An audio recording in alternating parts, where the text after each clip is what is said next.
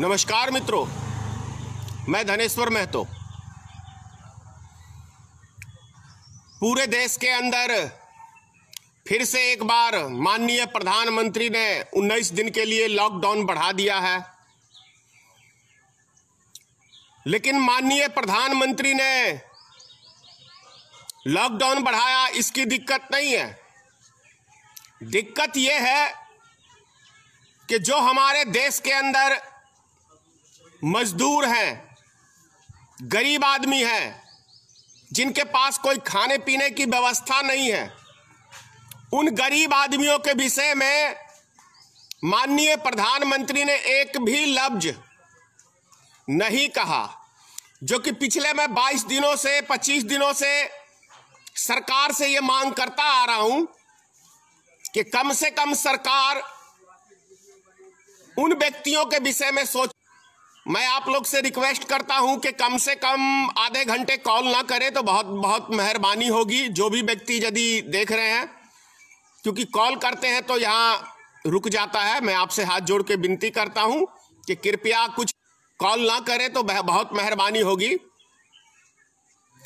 तो विषय है कि आखिर माननीय प्रधानमंत्री जी ने हमारे देश के अंदर जिस गरीबों के मत से माननीय प्रधानमंत्री जी आप प्रधानमंत्री चुने गए, उनका विश्वास आपने जीता।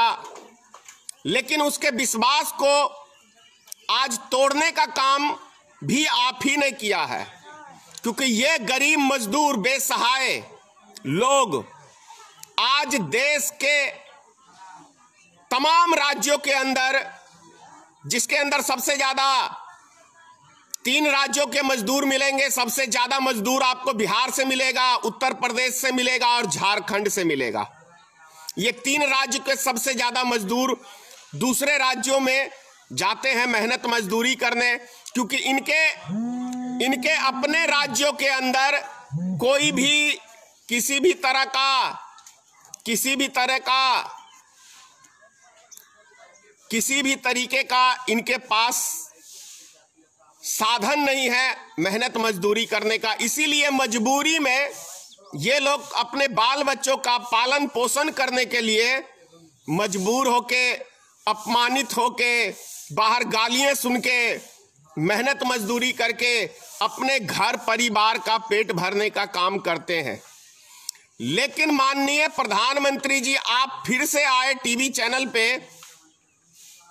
एक नए स्टाइल के अंदर और आपने फिर से इन गरीब जनता को, यदि मैं कहूँ, जेल में सुरक्षित रहता है आदमी, क्योंकि जेल के अंदर नाश्ता टाइम पे मिलता है, खाना टाइम पे मिलता है, लेकिन आपने जो अभी इस लॉकडाउन को फिर से बढ़ा दिया, ये काला पानी की यदि हम कहें, काला पानी की सजा यदि आपने देश की जनता को मुझे लगता है कि आपने काला पानी की सजा मजदूरों को, बेकसूर मजदूरों को मरने के लिए, जैसे लोग पहले काला पानी में कैद कर देते थे एक बड़े अपराधी को, और उसको जंजीर से डाल दिया जाता था, और उसको मतलब तिन तिन करके मरता था वो व्यक्ति, उसी तरह की स्थिति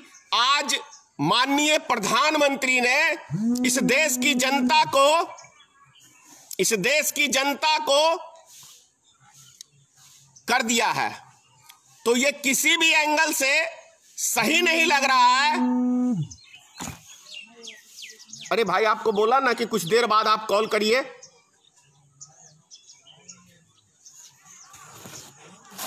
तो ये समझना पड़ेगा हम लोग को कि माननीय प्रधानमंत्री जी ने जिस तरह का अभी जो लॉकडाउन किया है और पूरे देश की जनता को एक परेशानी में धकेल दिया है तो उसे समझ सकते हैं आप लोग कि क्या हाल है आज देश का। मैं कह रहा हूँ कि कम से कम पाँच हज़ार कॉल, पाँच हज़ार कॉल से मेरे पास कम नहीं आए होंगे, क्योंकि भारत सरकार ने और राज्यों के सरकारों ने जो अपने अपने नागरिकों को वेबसाइट के ज़रिए या मोबाइल फ़ोन के ज़रिए जो कहते हैं कि आप, ये हेल्पलाइन, लाइन नंबर है, आप इस पे संपर्क करें तो उन गरीबों का उस नंबर पे सिर्फ़ और सिर्फ़ मज़ाक उड़ाया जा रहा है। पहला नंबर तो नंबर नहीं लगता है, और यदि नंबर लग गया तो वो हाथ खड़े कर लेते हैं। कल मुझे एक तमिलनाडु से कॉल आया था, जिसने डीएम से बात करी तो डीएम बोलता है हम आपके लिए कुछ नहीं कर सकते हैं। तो इससे ज़्यादा और शर्मनाक और क्या बात होगी हमारे देश की जो जिला का मालिक है। और जिला के मालिक से एक मजदूर भूखा प्यासा उससे आ, मतलब सहायता मांग रहा है तो वो बोलता है डीएम साहब के हम आपकी कुछ हालात हैं ये हम लोग को समझना पड़ेगा। मैं आपसे हाथ जोड़ के प्रार्थना कर रहा हूँ कि कम से कम अभी 10-15 मिनट कॉल ना करें। तो ये हालात हैं देश के। दूसरी बात दूसरी बात, चौदह तारीख को दैनिक जागरण पेपर के अंदर वाराणसी से एक खबर छपी है। अब कितनी झूठ है, कितनी सच है, ये मैं नहीं जानता हूँ। लेकिन मैंने वाराणसी के पेपर में देखा कि चौदह तारीख को 25 बस 25 बस 25 बस जो है, भैया अगर इस तरह आप परेशान करेंगे तो मजबूर होकर मुझे इस नंबर को बंद करना पड़ेगा, क्योंकि आप जानबूझ के परेशान कर रहे हैं तो मैं जो ये नंबर है फेसबुक से फिर हटा लूँगा, क्योंकि बार बार ही कॉल करके डिस्टर्ब करना, ये सही नहीं है। मैं हर आदमी से बात करता हूँ तो कृपया कम से कम आधे घंटे के लिए सबर रख लें, फिर आप बात करिएगा। मैं हर व्यक्ति का कॉल उठाता हूँ, हर व्यक्ति से बात करता हूँ। तो मैं आपसे हाथ जोड़ के प्रार्थना कर रहा हूँ।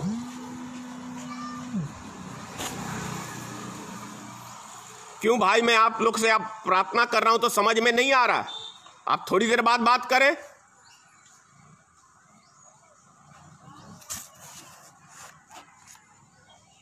तो ये विषय है, प्रिय बंधुगण, कि 25 बसें 25 बस जो है, वाराणसी से 25 बसें महाराष्ट्र की तरफ़ गई हैं। तो महाराष्ट्र सरकार यदि अपने नागरिकों को महाराष्ट्र अब इस लॉकडाउन में बुला सकती है तो फिर बिहार के मुख्यमंत्री नीतीश कुमार जी, आप अपने लोगों को जो फंसे हुए हैं, उनको आप क्यों नहीं बुला सकते? भारतीय जनता पार्टी की आपकी गठबंधन की सरकार है। क्या बिहार के लोग इंसान नहीं है? क्या ये मज, इनका गुना सिर्फ़ इतना सा है, इन गरीब आदमियों का कि ये गरीब अवस्था में पले बड़े हैं, गरीब हैं, मजदूरी करके अपने बाल बच्चों का पेट भरते हैं? क्या ये इनकी ये बहुत बड़ा अपराध है? मैं माननीय नीतीश कुमार जी से पूछना चाह रहा हूँ कि क्या गरीब आदमियों को इस देश में जीने का अधिकार नहीं है? माननीय प्रधानमंत्री जी माननीय प्रधानमंत्री जी, मैं आपसे पूछना चाह रहा हूँ, क्या इस देश में गरीब आदमियों का जीने का अधिकार नहीं है? दिल्ली के अंदर, इस लॉकडाउन के अंदर, कई मीडिया चैनलों ने दिखाया था कि विदेशी पर्यटक आराम से कनाट प्लेस में घूम रहे उनको कोई पूछने वाला नहीं है। तो कौन सा भारत सरकार का यह कानून है भाई? विदेशियों के तो आप तलवे चाटते हो, और अपने भारत के नागरिकों को भारत के नागरिकों को, गरीब आदमियों को, मजदूरों को जेल खाने से भी बदतर ज़िंदगी जीने के लिए मजबूर कर दियो। क्या चीज़ ये मांग रहे हैं? ऐसा क्या चीज़ ये गरीब आदमी मांग रहे हैं? सिर्फ़ आपसे दो टाइम का खाना ही तो मांग रहे हैं। और एक साल के लिए लॉकडाउन करोगे तो एक साल ये मजदूर रह जाएँगे घर में। लेकिन इनका ये अधिकार बनता है कि आपने यदि लॉकडाउन किया है तो ये आपके सरकार की ज़िम्मेदारी है, आपकी ज़िम्मेदारी है कि ये जो मजदूर आदमी है, आज फंसे हुए हैं, या तो इनको अपने घर तक आप भेजें। कोई बड़ी बात नहीं है। हवा बना दिया है आपने, और आपकी देश की इस देशद्रोही मीडियाओं ने। ये देशद्रोही मीडिया है, ये इस देश के दुश्मन मीडिया है, इस देश की एकता, अखंडता की जो भाईचारा है, उसको खत्म करने वाली ये मीडिया है। कल विनय दुबे को महाराष्ट्र पुलिस ने गिरफ़्तार कर लिया। हमने लोग लो, लोग ने देखा। विनय दुबे ने एक बयान दिया कि हम यूपी और बिहार के आदमियों को इकट्ठा करके पैदल ले जाके ले जाएँगे। तो मैं समझता हूँ वहाँ पे ये भी है कि राजनीतिक ही उसने खेला। क्योंकि यदि महाराष्ट्र से यूपी और बिहार के आदमी पैदल चल के अपने घरों को आएँगे तो वो व्यक्ति वैसा ही मर जाएँगे। तो बिने दुबे ने भी कोई ये बहुत बड़ा अकलमंदी का काम नहीं किया। मेरे पास हज़ारों की लाखों, ये कई हज़ार कॉल आए हुए हैं जिसकी कॉल रिकॉर्डिंग है, मैं बार बार ही कह रहा हूँ। बिहार सरकार से, भारत सरकार से, कि आप कहिए तो मैं आपको कॉल रिकॉर्डिंग देता हूँ, उन व्यक्तियों के नंबर देता हूँ जो फंसे हुए हैं। आप उनको मदद पहुंचाइए। वो आपसे सोना चांदी नहीं मांग रहे, हीरा मोती भारत सरकार से नहीं मांग रहे। वो अपने जीने के लिए दो टाइम की वक्त का खाना मांग रहे हैं, जो उनका अधिकार है। भारत सरकार का ये राइट बनता है, राज्य सरकारों का राइट बनता है।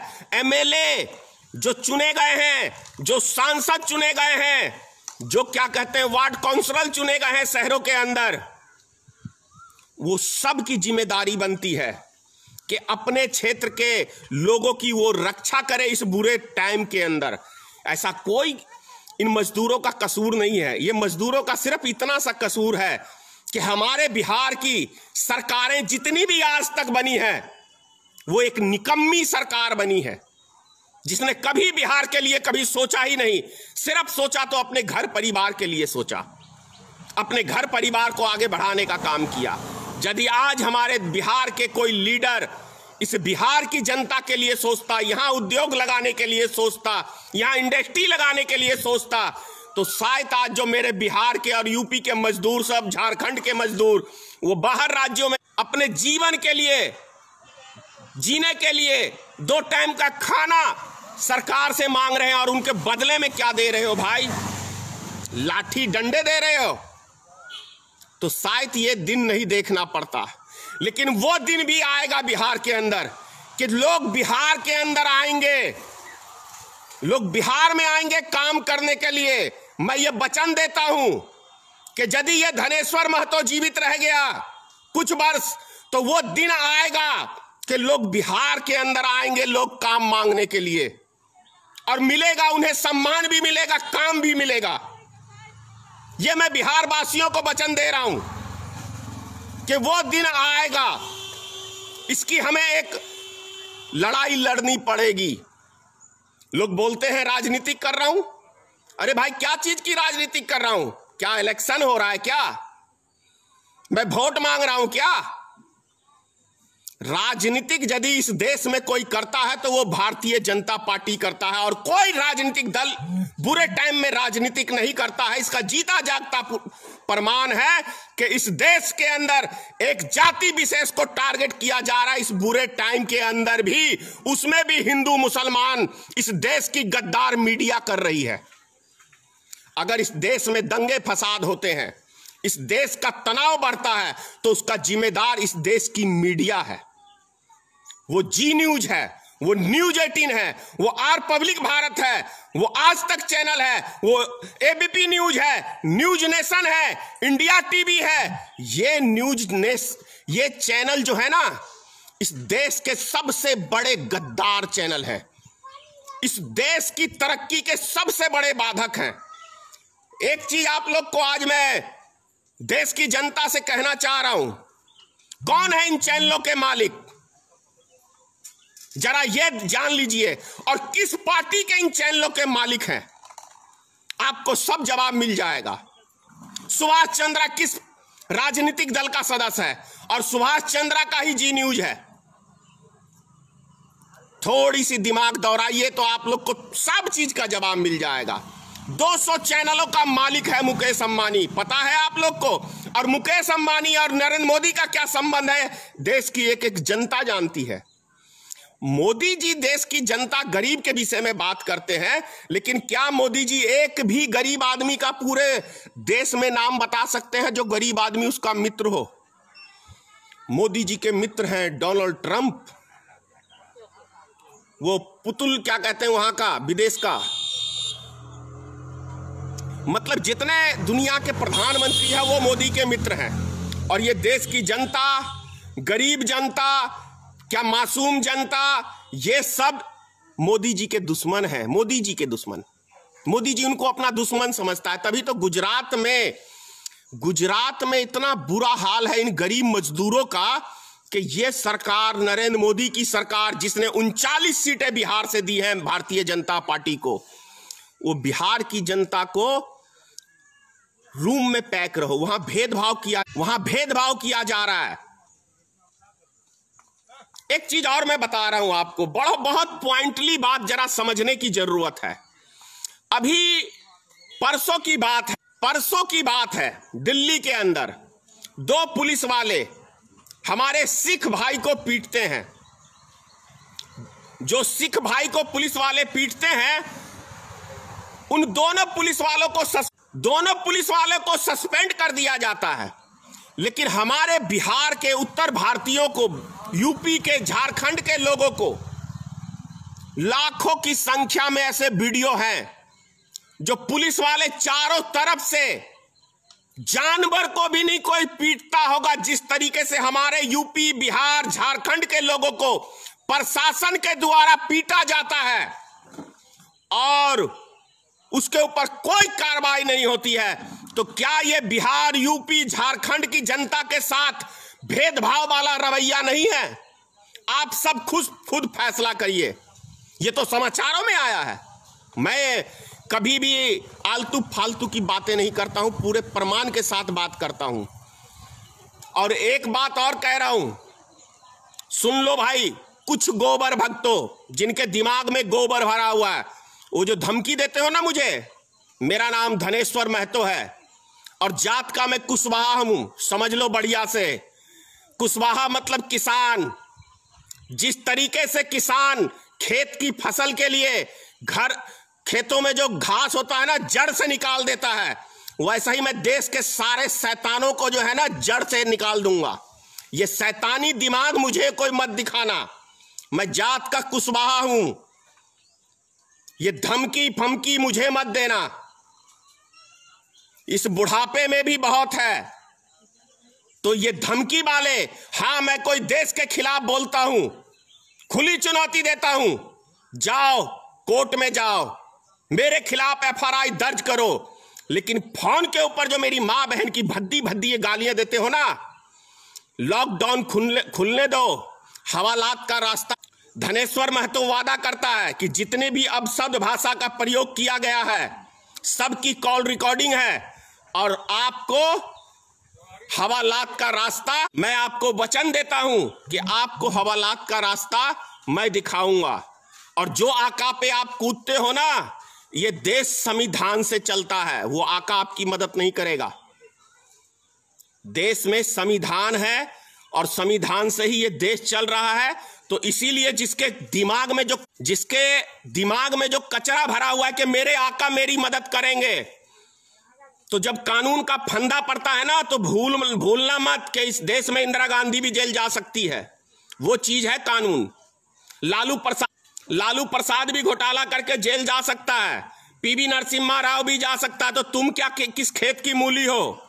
तो भाषा जो प्रयोग करते हो ना भाषा जो प्रयोग करते हो, थोड़ा उस भाषा के ऊपर संयम रखो। और यदि मैं कुछ बोल रहा हूँ, कुछ गलत बोल रहा हूँ, कुछ देश में ऐसी, कुछ मैं, भैया इतना परेशान कॉल करके मत करो अभी। मैं आपसे बात करूँगा। थोड़ा सबर रखें। तो जो बातें मैं कह रहा हूँ, वो समझिए। देश की जनता को माननीय प्रधानमंत्री जी लास्ट में कह रहा हूँ, ना तो उसको बिल्डिंग चाहिए, ना उसको सोना चाहिए, ना हीरा मोती चाहिए। देश की जनता मेहनत मजदूरी करके अपना पेट भरती है, और आपने मेहनत मजदूरी उसका बंद किया है तो आपका दायित्व बनता है उन मजदूरों को दो टाइम का खाना देना। नहीं तो यह काला पानी की जो आपने इस मजदूरों को सजा दी है, इसका खामियाजा आपको अगले इलेक्शन में भुगतना पड़ेगा। यह सच्चाई बता रहा हूँ। बिहार में चुनाव है ना? समझ में आ जाएगा नीतीश कुमार जी। समझ में आ जाएगा कितनी सीटें मिलती हैं। बड़ा नाज है ना ये हिंदू मुसलमान की बीमारी फैला के। तो ये मत समझना कि जो मजदूर आज फंसे हुए हैं, वो हिंदू भी हैं। और उन्हीं हिंदुओं की हज़ारों की संख्या में मेरे पास कॉल है, जो मेरे से मदद मांग रहे हैं। अगर मेरे पास कुछ पावर होता तो मैं उनको अब तक मैं एक भी बिहार वासियों को बाहर नहीं छोड़ा रहता और अब तक ले आता। कोई बड़ी बात कोई थोड़ी है?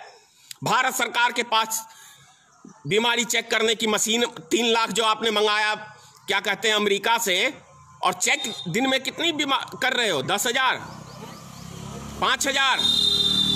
तो मनसा भारत सरकार की अच्छी नहीं है।